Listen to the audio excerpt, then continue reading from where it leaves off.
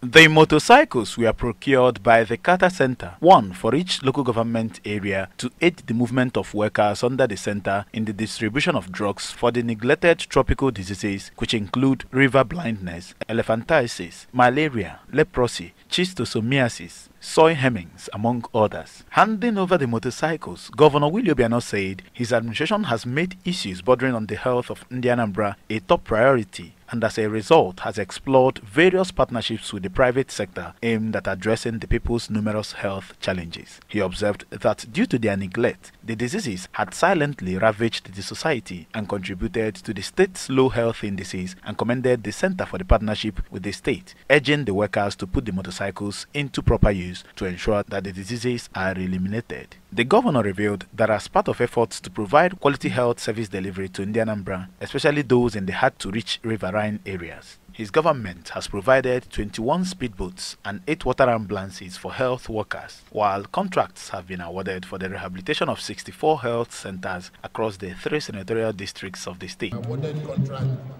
for the construction and repairs the of 64 um, primary health care centers, 21 in each local government.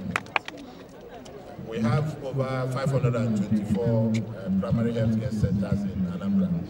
Uh, some of them are in reasonable shape, uh, most are not. And we've taken 64 that are worst. Then uh, we take them in batches. Take another batch of 64 when we complete this.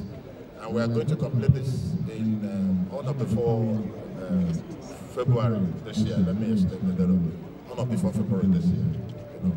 The Commissioner for Health, Dr. Josephat Akabuike, who disclosed that the center had been in partnership with the state government for the past 13 years, said the comprehensive approach which the present administration had adopted towards battling the neglected tropical diseases will not only ensure that they were eliminated, but also create the required consciousness in the citizenry towards them. Thank you in a special way because all over the nation, this is the only state that the governor is handing over this machine himself because of the love we have for health, because of the love we have for our people in the Mediterranean.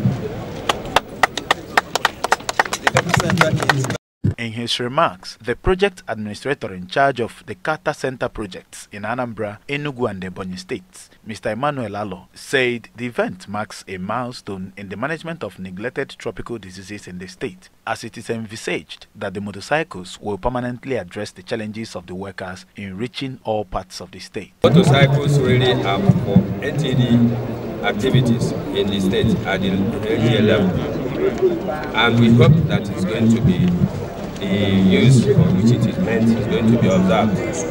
We actually thank the governor himself because he is the one that is doing the commissioning himself.